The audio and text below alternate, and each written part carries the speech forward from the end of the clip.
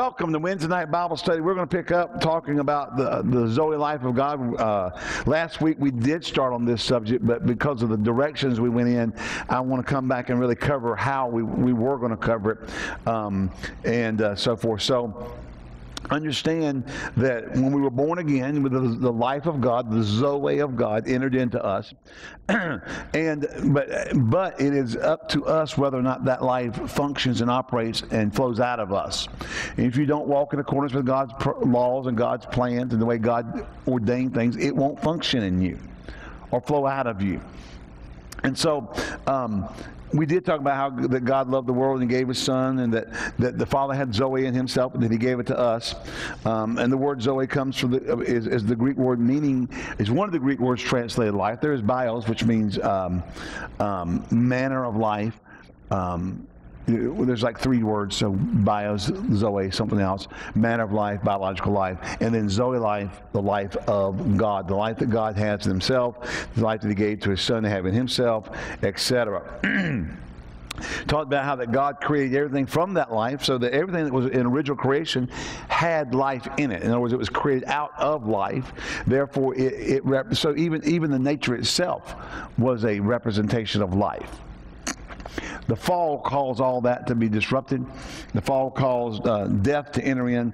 Talked about how that death is not the cessation of existence, but separation of God. Uh, Romans 6.23 says that, you know, that, um, we'll look over there. We'll go ahead and just kind of jump in there. So we're going to pick up God has produced life in us, but then there is the things, God gave us that life because of the separation of man. Um, Romans 6.23 says, for the wages of sin is death, but the gift of God is eternal life, Zoe, through Jesus Christ our Lord. It is an eternal life because it's, it's, it is life that has no beginning or end because God has no beginning or end. God's life exists because God does, because God is life. Um, death is separation from separation. Physical death is separation of the human spirit from the physical body. Spiritual death is separation of the human spirit from God. Eternal death is the eternal separation of the human spirit from God. Okay? We, have used that term and defined that term numerous times in the past. Um, your the reward for disobedience to God in the garden was separation from God. Adam committed high treason. He he experienced spiritual death and was separated from God. Amen. Amen. Okay. Um, you cannot expect to receive the blessings of God without paying the price of obedience. Wow. There you go. It's amazing. Just bring in Doctorus Maximus just for a few minutes, and there we go. Hallelujah.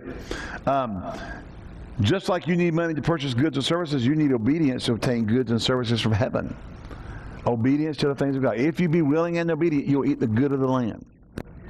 That, that, listen, some people, that's the Old Testament, and that you know some people kind of have this idea that when you get into the New Testament, that obedience, you know, and willingness are no longer valid uh, applications of the believer's life. We just live under grace and we get it because we're believers. Well, that's, that's not true. We've covered that enough over the past couple of years. You should have by now figured that out. There is the requirement of obedience to the things of God.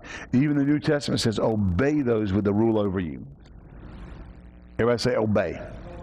Now, this is not that crazy, you know, church thing where men come in and say, women, you got to submit, you got to obey. Some guy that, that kind of liked one of my daughters um, told her that he couldn't he couldn't he couldn't go any further. She didn't even know. He he hit, hit in mind in his mind he was starting a relationship, and she was like, "What are you talking about? Well, I can't go any further with you because you don't submit."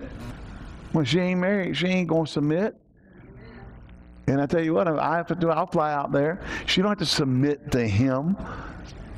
You know. Not talking about that weird stuff. Everybody say that weird stuff. Biblical submission is totally different than what people propagate. Okay, uh, it's it's just it's just not what people try to say that is. Women got in other words, you got to do exactly what I say do. That's not it. Sin reduces you to a mere man. Remember the Bible uh, Paul wrote, and, and, it's in, believe, the Amplified Bible. It, uh, he's talking about the schisms and divisions among you and so forth, and he says this, and he says, and um, called them mere men. Amplified uses the term mere men. They've been reduced to acting like mere men, acting like unsaved, unregenerated men. E.W. Kenyon says that a man does not uh, renew his mind to the Word of God will imitate a sinner or act like a mere man. Um, actually, I think I, I, I believe Amplified goes on and says it this way: mere unsaved or unspiritual men. Um, we need we need to reflect the life in us. Can you say amen to that? All right. Now, one way we do that is we do the hokey pokey on Wednesday nights. Anybody want to do the hokey pokey? Not really. Okay. Um, the reason sin reduces you to a mere man is it separates you from the life of God. Sin is a separator. Everybody say sin is a separator. You cannot live a supernatural life when disconnected from the life of God. Sin is, is an inhibitor. It blocks, it blocks the flow of the life of God through your life. Now let me say this: you don't. Um, once you're born again, you don't exist outside of a relationship with God in that that that state. you walk out of that state and you separate it from that state. In other words, you can do Adam did not commit high treason. You can rebel against God and lose your position with God. God, man was created to be immortal. Zoe affected man's mortal flesh and enabled him to live a long life. Uh, Adam lived over 900 years, all because, uh, really, had he not sinned, he would have never died. Man would God never. Well, where do we put all the people on the planet? You know, uh, now about in the 70s, they did a thing. They said they could take everybody on the planet at the time and put them inside the city limits of Jacksonville, Florida. Now, I know we've grown exponentially since then. Maybe we've doubled since then. Maybe we went from 3.5 billion to 7 billion. Okay, two Jacksonville, Floridas. If you put them in a 3 by 3 square foot um, box, you could put the entire world's population in that city limits at that time. Now, I think there's plenty of room on the planet for a lot of people. Hello? Can you, imagine, can you imagine a whole city being New York City? No, I don't want to think about it. I don't, you know, we could go there. I don't think man was created to have everybody piled together in big cities either. Had Adam not sinned in the Garden of Eden, Zoe life would have sustained his immortal life. He would have never died. Because, see, his body at that point in creation was neither death doomed or not death doomed. It was just created as a, as a living, um, it was created to house his spirit and it would have continued to house his Spirit without interruption had he not committed that treason and brought death. The seed of death was brought in. Okay? You can be dominated by this life. And that is what we're after. We want the believer to be dominated by the Zoe life of God. Now, understand Zoe life is redundant but because we're using a Greek word, we want to un- you understand what we're referring to. Uh, Zoe being the life of God, life of the man that God has it. it is, so to say Zoe life is, is redundant when understanding the Greek, but for purposes of continuing to clarify what we're talking about, uh, I'm, I'm going to use it that way. So you can be you can be dominated and should be dominated by the Zoe of God. Amen. You must stay connected to the Zoe of God. You must kill your fleshly desires daily so that the Zoe life can live or be made manifest through you. The Zoe life of God is responsible for developing, in other words, that life. Uh, it's no longer I that liveth, but Christ liveth in me. He says, in the life that I now live in the flesh, I live by the faith of the Son of God who died for me and gave himself for me. Amen. That life working in us causes us, you know, as we yield to that and walk in obedience to that and walk in harmony with that, it develops us and brings us into the things God has for us. Excuse me, my voice is a little froggy tonight for some reason. um, so you cure your fleshly desires so that Zoe can live or be manifest through you. It's that life is responsible for developing you. Um, now, development requires uh, you to do certain things, resist things. You got to resist the temptations of the flesh. You've got to resist the desires of the flesh. You've got to resist the cravings and yearnings of the flesh. Um, and let's look at 2 Corinthians 4.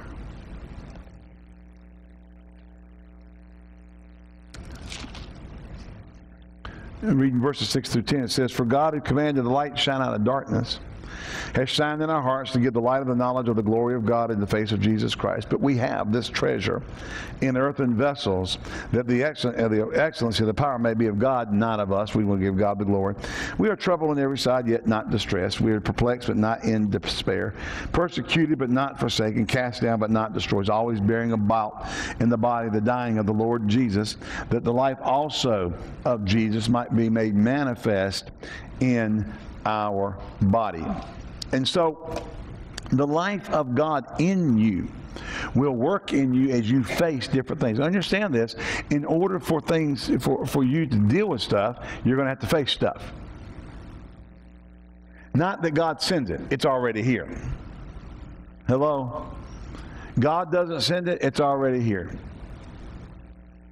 Okay. Say it with me. God, does not does send the trouble. God does not send the problem. But because it's already here, His life in us will cause us to work in resistance toward the things that are already here and cause us to grow. Now God's not bring, God is not putting all that stuff on you. It's there. You got to face stuff. Say, I got to face stuff.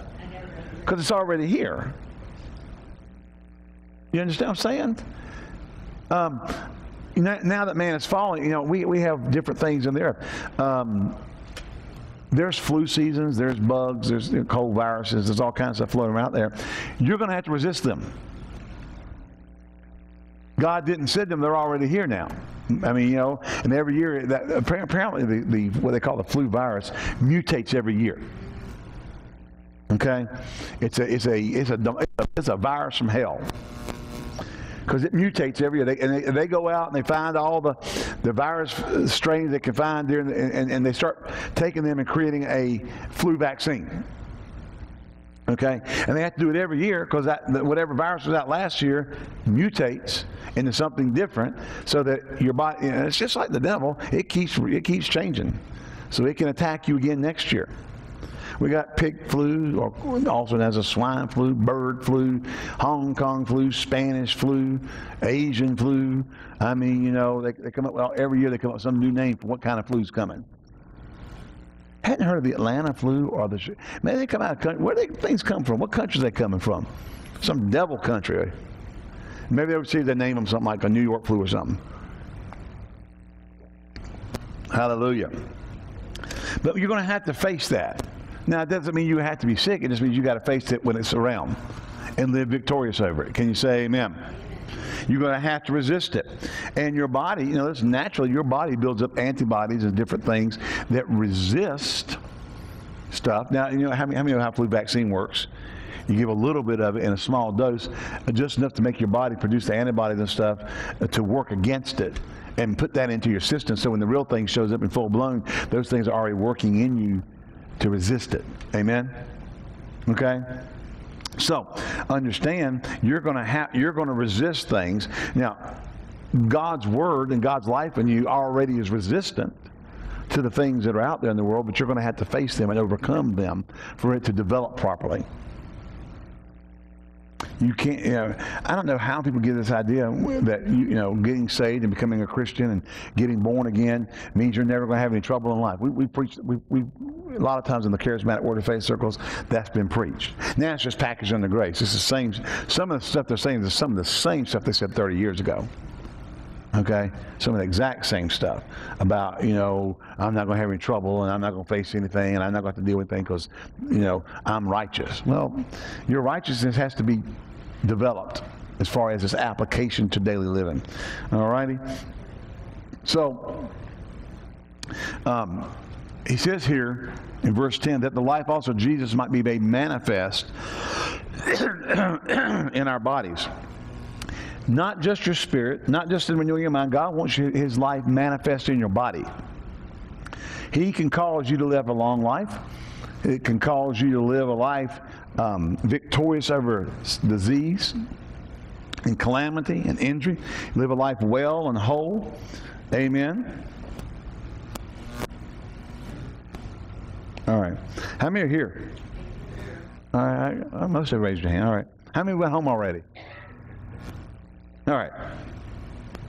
Um,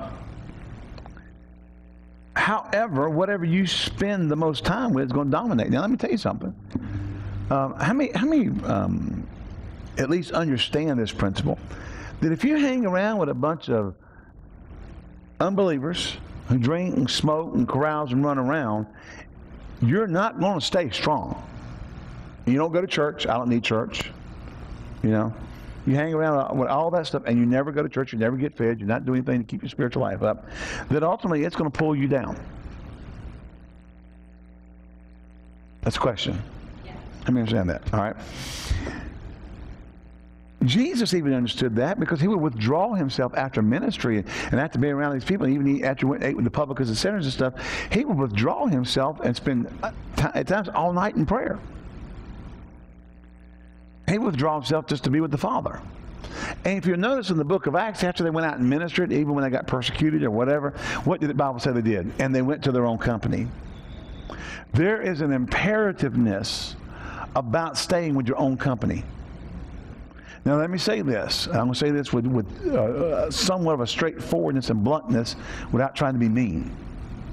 If you think that you can say, I'm doing fine, and you won't come to church, and you won't be in church, and you can't come to church because you're ticked off with somebody in the church, and you think you can say that you're walking in love and you're forgiving and all this kind of stuff, you're deceiving yourself. And then come tell people that you're hearing from heaven. You can't hear from heaven in that state other than repent. God's not going to tell you some grandiose thing to do in life without first telling you to repent. That one ever big. It's true. You think you're tapping into the life source of God for wisdom and information, and you're just flat out walking out of love and walking in disobedience to Him. It don't work that way. Because I can tell you, God will leave off where He left off when you still got in that path in the first place. Repent. And when you come back and listen to Him, He's still in the middle saying, Repent. Get that thing straight. God doesn't operate with us. He just kind of forgets about it, lets you go on your merry little way, and then keeps giving you all the wisdom and direction and understanding and all that kind of stuff. It don't work that way. Why? Because your rebellion has cut off, cut you off from that source ministry in your life until you get the other things straight. Sin will shipwreck you. Why is God going to continue to bless you when you're walking in disobedience? He does it. And let me say this: one reason He will not continue to bless you when you're walking in disobedience is that because we're He knows us, we'll think that's a, that's Him condoning what we're doing. We'll go straight. Oh, see, I'm still being blessed. It's the Lord. Uh, we've seen ministries be blessed continually when they're walking in sin, and it wasn't for the minister to condone his ministry. It was because the people had a need, and he wanted to meet the need. Had nothing to do with condoning their ministry had everything to do with he can use a donkey if he needs to. Or the other word. J A. Okay? A jack butt. All right? God uses a used a chicken. God used a donkey. It wasn't because you know when the donkey was used and the chicken was used. It wasn't because the people that they were used were doing the right things. As a matter of fact, we clearly from the scripture they were doing the wrong thing. There was not a continuation of blessing. There was an arresting to stop what they were doing. So if you're spending the wrong time in the wrong places, and I'm going to tell you, if you think you can just get, stay at home and watch television and and, and uh, and so forth, and not walk according to the Word of God and still walk blessed, you're wrong. Okay? When sin tries to dominate, you need to die to that sin. You need to crucify that and, and put yourself under the uh, influence of the Zoe life of God and get things straightened out. Hello? Now, I, I, over the years, I, we've been pastoring for a long time. And I know some people think, well, you ought to have more people if you've been pastoring for a long time. That's not my business. That's God's. I'm doing what I know to do, and I'll leave the rest of it in His hands. Let me say this I've been pastoring a long time, and I have never had one single person walk in my office who was on fire with the Holy Ghost, walking in the Spirit, had no, had no conflicts, no, um, what's the word I'm looking for? Offense, no issues at all. Everything was great, wonderful, loved the Lord. The church loved them. They loved me. I loved them. There were no problems. In all my years, I've never had anybody walk in my office in that state and say, you know, the Lord, Pastor, the Lord's leading me somewhere else, and, and I hate it because I love being here. I don't want, but the Lord, I have to follow God. Not one time.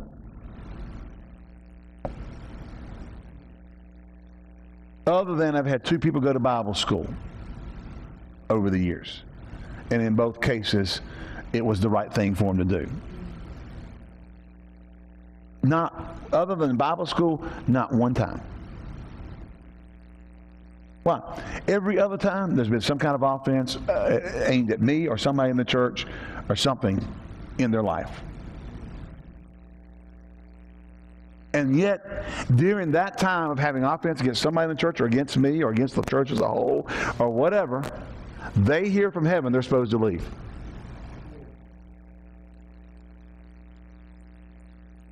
Now let me tell you, God don't work that way. I can tell you what the problem is. It's because you're in offense. Because three months earlier, when everything was just wonderful and you loved us and, and, and I, you know, and you're just loving the word and you're loving what the church is doing, when you didn't have an offense, you were here about you, you were with us forever. It's amazing how offense changes what the Lord says.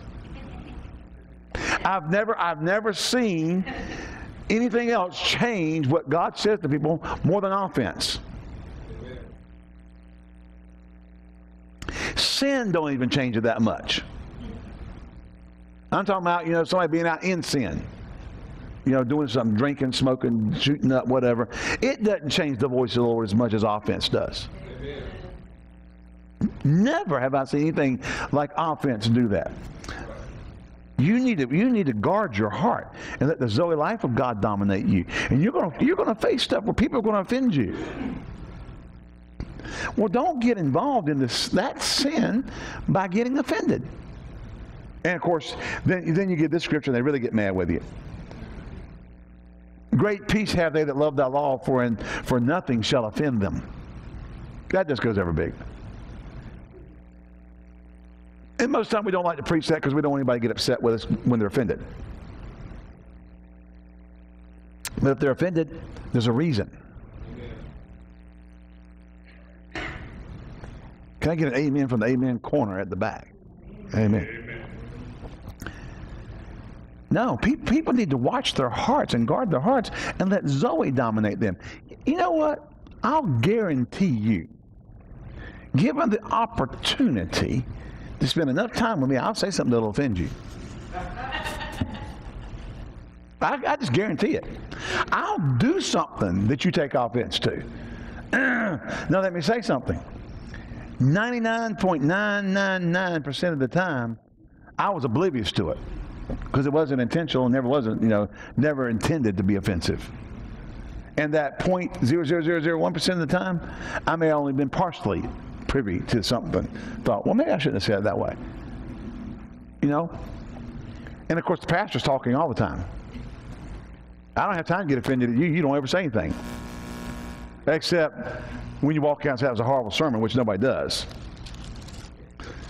That was great, Pastor. That was awesome. That was that was neat. That was heavenly. I'm going to another church next week.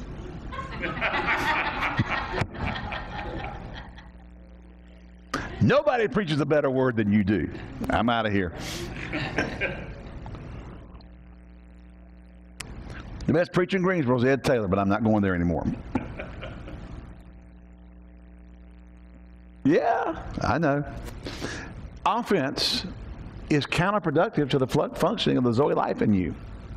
It'll suffocate it. And the wisdom and, and, and things you need out of that Zoe life will be choked because of it. Amen. Now, you know, we have we have what we basically we do have a multicultural church, at least at minimum a bicultural church. But you know, really, cultures cross more than just racial lines. But but you know, we're we got different backgrounds. We got different perspectives on things. We see things naturally, particularly naturally. Now, spiritually, we shouldn't see things anything's different. But there's natural things we see that are different.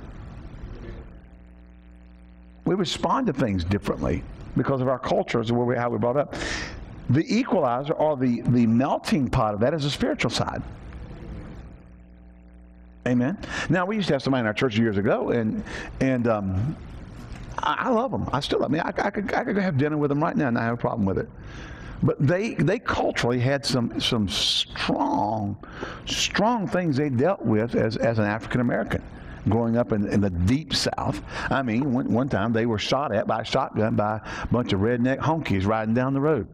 They were, they were college students from one of the they were they were out they were going somewhere and they were on the way back to, to school, and these these out and back country roads of Mississippi somewhere they just rode by and shot at them. I've never dealt with that. I've never had an African American shoot at me.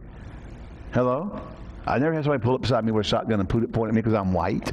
So I understand we've dealt with different things, but we have to realize that each of us have come from different places and dealt with different things.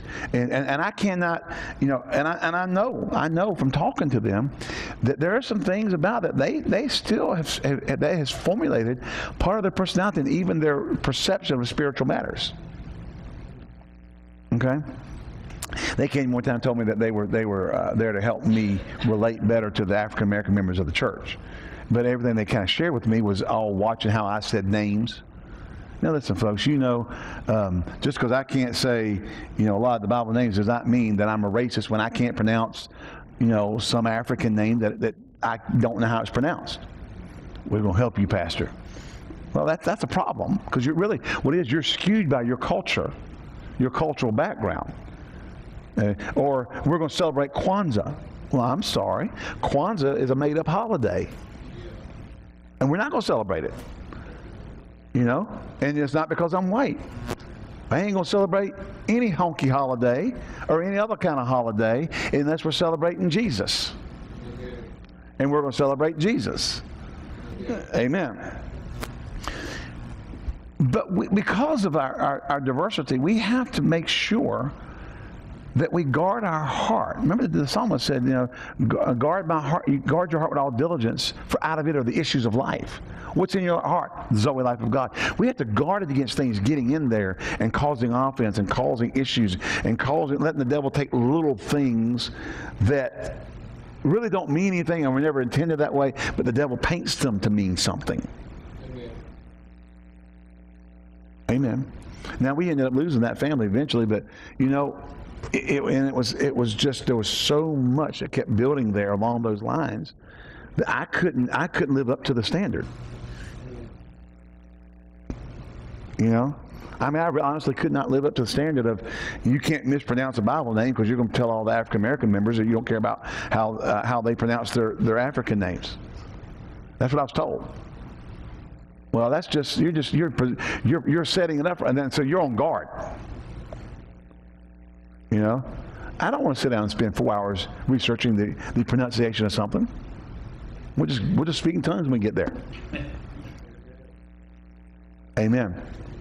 What I'm saying is, and, and then, and then, you know, white people in our congregation, you, ain't, you didn't grow up, because white people are stiff as a general rule.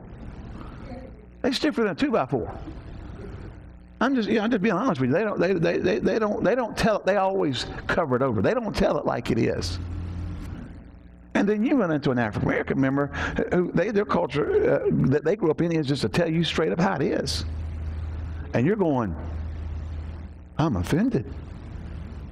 I would have never said that. We know. You know why? Where do you think Puritan came from? It came from them stiff honkies. Hello? They could talk about anything. You go to a white church, they don't even, they don't even mention the word sex, much less talk about it. So we, we understand. I'm, I'm just, I'm, i want us to understand something. Because there has been a racial, I don't know why I'm going here, but I'm going here. There has been a racial spirit released in our nation. Now, we, honestly, racial relations did not get better under the presidency of our current president. It got worse. And you say, well, whose fault is that? The devil's. Because he has, there's been things released. People are, there's an anger, there's a resentment, there's uh, in your face stuff. There's all kinds of stuff going on. And if it's going on in the world, guess what's coming next? Anybody know? Where's it coming next? If it's been taking place out there in the world, it's coming to the church. It's coming to the church. And what, what was that? It's yeah.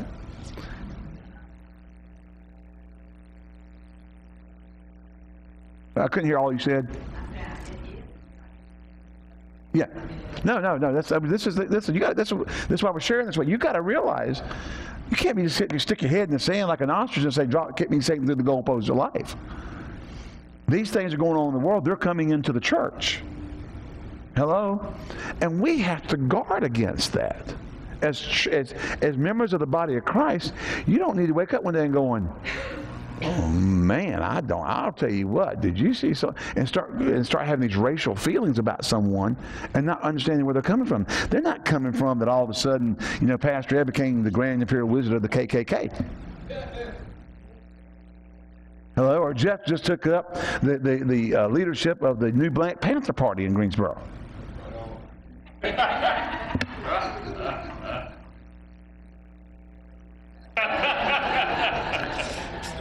He'll have his fist up like this for black power, and I'm going to hold mine up like that, white power.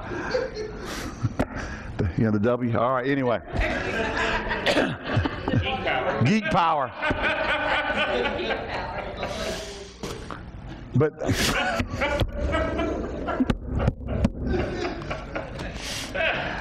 But this stuff is going on out there. And see, the church leaves. And when these things start happening, what do we do? We run away from what we know to do. And that, I don't know how I got from not walking in love to this, but it's, it's there.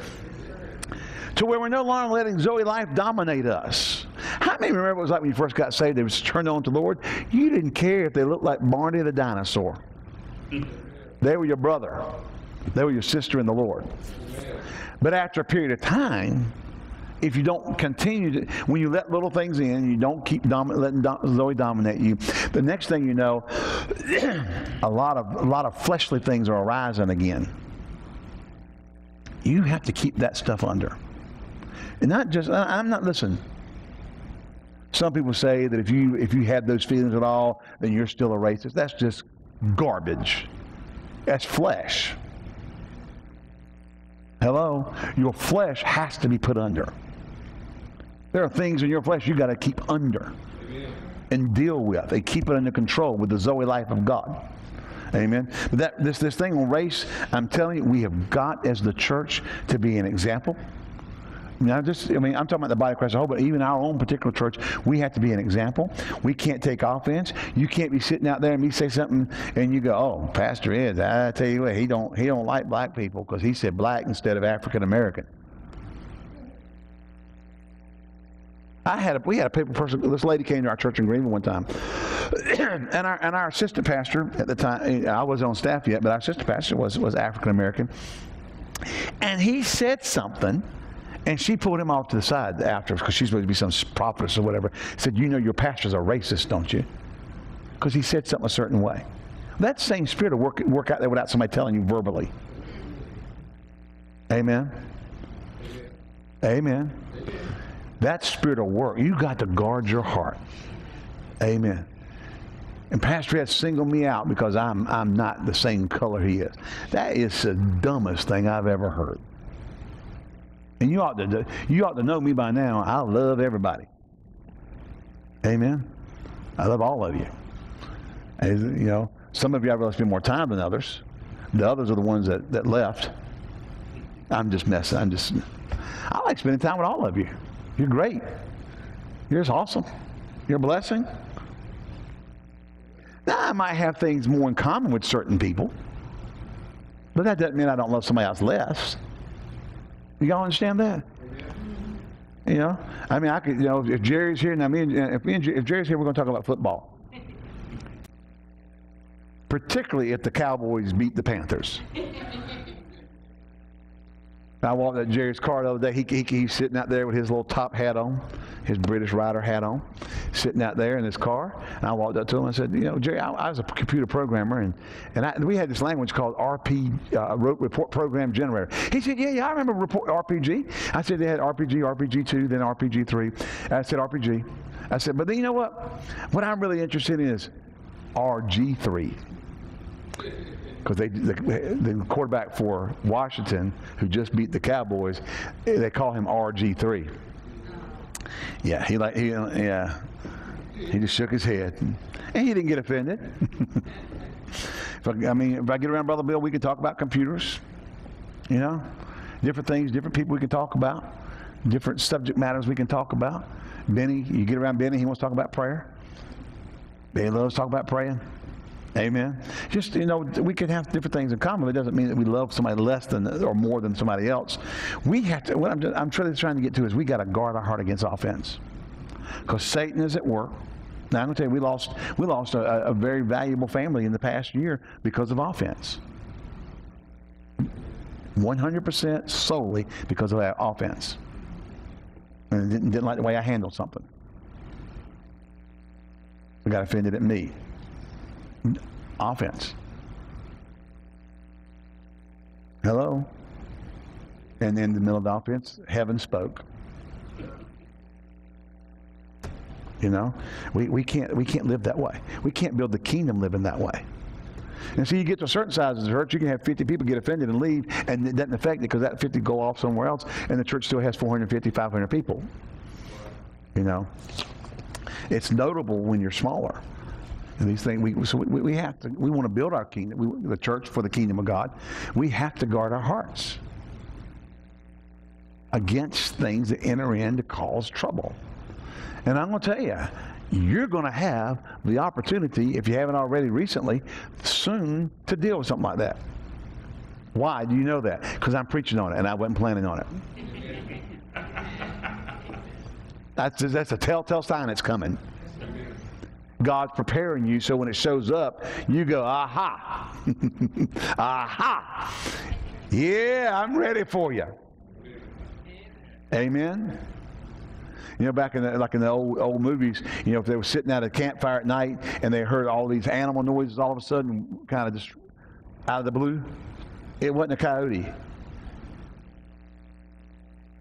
It was an Apache or somebody get ready to cut your head off in the movie. I don't know that all. I can't say that definitively. That's how all the the um, um, tribes were. I don't know. We have you know revisionist history. the white man wrote all the books. you know what I'm saying? All the stories. General George Armstrong Custer. He was a lieutenant colonel with a field with a field promotion. Did y'all know that? Custer only had a field promotion degree. He wasn't a, he wasn't a full blown general. He was had a field promotion. Hallelujah. So I'm trying to get off of this, but I can't. Get ready. Be prepared. When it shows up, deal with it. How? Out of the life of God. Let the Zoe life dominate you. Think of how what Stephen did when they were stoning him to death he responded the same way his master did because the same life was working in him. Remember when Jesus said, uh, Father, lay not this sin to the charge? Amen. Father, forgive them for they know what they do. Then, then Stephen said when they were stoning him, Father, lay not this sin to their charge. Boy, could you, could you get offended at somebody throwing a stone at you? Trying to kill you? Hello? All you tried to do was help them preached the truth to them and they got mad.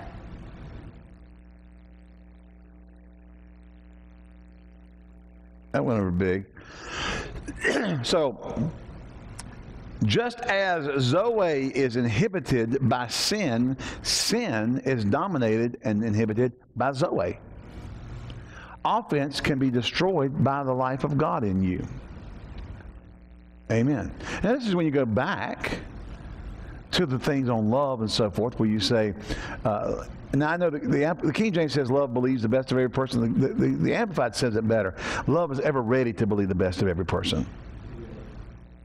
It wants to. And I understand, you know, uh, once you've been burned a few times by the same person doing stuff they shouldn't be doing in your life, taking advantage of you, stealing from you, robbing you, cheating on you. I mean, you, you know, you got a husband, he's been out with six women in the past four months, and you've taken it back every time you finally say that's enough. Oh, you got to walk in love, sister. No.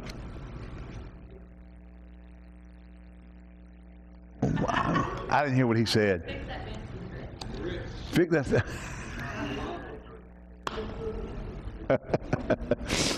Minny gonna fix that man some grits and pour it in his lap. Hallelujah. but she ain't gonna burn the chicken. How many, seen, how many seen the help? How many have not seen the help? You need to, you need to get that, rent it. It's a great movie. It's a, if you want to, if you want a good movie that'll make you laugh, it's it's Minny don't burn no chicken. Hallelujah.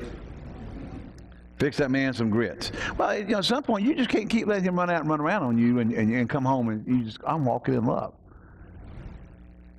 Well, you can love him without him putting up with that. Amen. You don't need to put up with that. Coming home beating you. You don't put, you, you know, oh, I believe he didn't mean to hit me. You got three teeth knocked out and a black eye? No, no, you're ever ready to believe the best of it. You want to believe the best. Now, let me say, when it comes to your brothers and sisters in Christ, you should be ready to believe the best and not what the devil told you.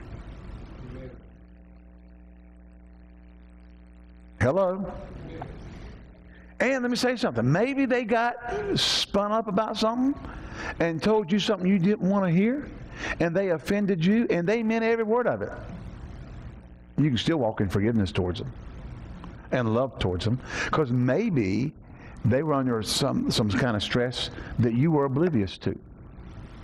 Maybe they were dealing with things internally and, and, in a personal way that you knew nothing about, and you just caught the brunt of their fact that they hadn't dealt with it properly or dealt with it with the Word of God, or they were trying, they were struggling. Listen, you don't know what people are dealing with. Yeah, but they should. Yeah, but what about laying down your rights to be right? We have to spend more time letting Zoe life dominate us. Letting the life, the love that comes out of that life flow out of us.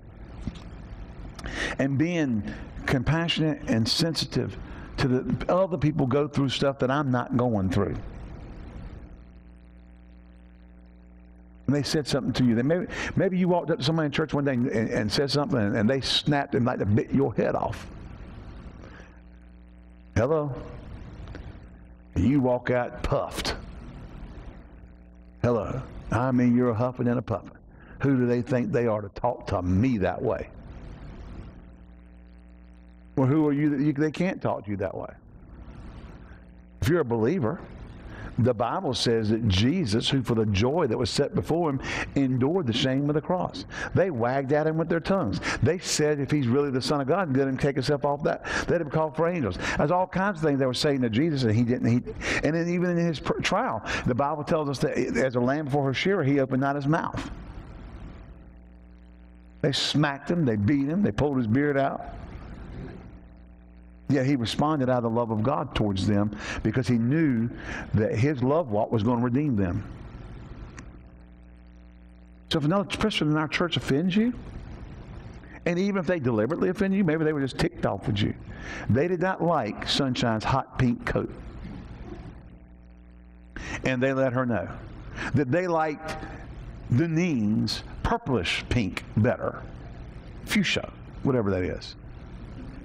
And the sunshine should trade her coat. And they just said, that's the ugliest coat I've ever seen. And I mean it. No, I really don't. I'm just saying that see what you did. I just want to see how you, what you, how, how you responded. And all I got was a. right, okay, Pastor. All right. I won't be back Sunday. The white reaction. The white reaction. There you go. and what you talk about, talking about? I mean,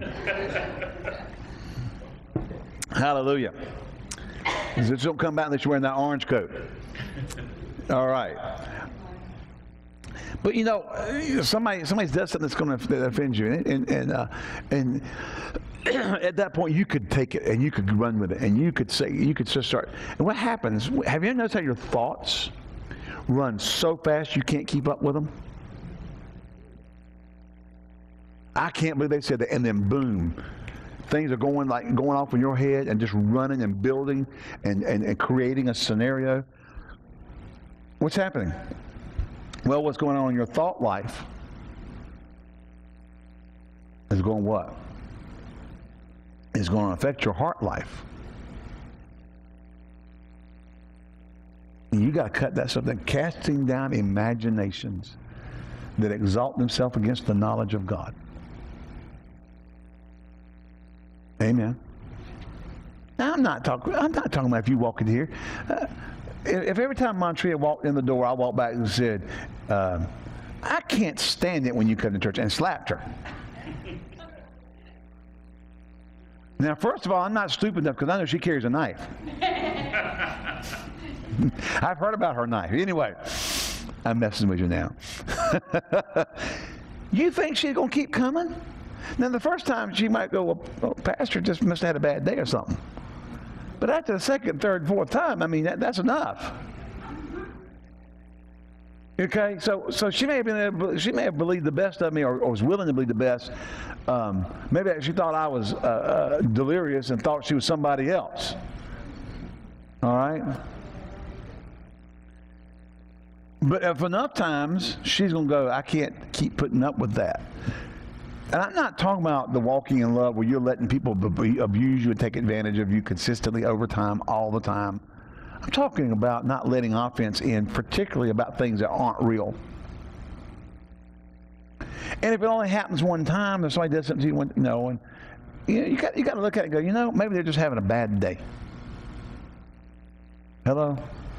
Pastor didn't. Pastor didn't. I mean, I got, Pastor stood out there in the foyer and shook hands with everybody. And when I got right there, he turned around and walked off. He don't like me.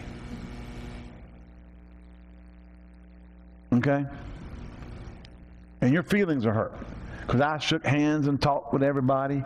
Hello, carried on a conversation. You're standing back there waiting, and what you didn't realize was um, that there was something pressing that I had to take care of immediately. That I just remembered or something. Sometimes that happens. I'm out there and I go, "Oh man, I got to do this," and I got to go do it now. I got to take care of this because I got to get so and so before they get out of the parking lot. The things like that happen all the time. Well, now, if every time you show up in line I walk off, there's a problem. Hello? Maybe I don't like you. you know, maybe, maybe I don't like you. Well, if, if that were the case, if I didn't like you, and every time you came through the line, I just I looked past you and started shake talking to somebody else and said, uh, "Don't bother coming back" or something. Well, I can understand. Eventually, you know, although you're willing to believe the best of me, you probably figured out I don't like you. Okay? So we're not talking about those extremes. What we're talking about is the subtleties of Satan trying to drive a wedge into people in the congregation through race, through cat fights, through pit bull fights. Hello. Y'all know what a cat fight is, don't you? Yeah. And we're not talking about kitty cats either. Talking about you women. Anyway. Oh, now he's got bad at the girls we have to learn to allow Zoe to dominate us. The evidence of that Zoe is walking in love, and I'm talking about biblical love. Um, you know, I, I, I, think of the people um, who build scenarios in their heads and wait until it's past the point of no return to come tell you that they're upset with you. Because a lot of times, if they come early, we could have said, well, that's just not true. Now, I've had that happen, and they still believed it. They refused to not. They refused not to believe me and believe that, the, the imaginations they were having. But wait until you know what's going on. Well, we got a problem. How do we have a problem? Well, I'm leaving. What? You know? Well, you can have, you listen, people get in the church, and that's pastor of the sheep, but what about people in church? all of a sudden you've been you've been having dinner with people and going out and y'all hang out and fellowship. All of a sudden they won't have they, they ain't got time for you. They won't answer your calls. They won't answer your text messages. They won't answer your emails. When you come to the door, you see them scurrying around and, and closing the blinds and won't come to the door.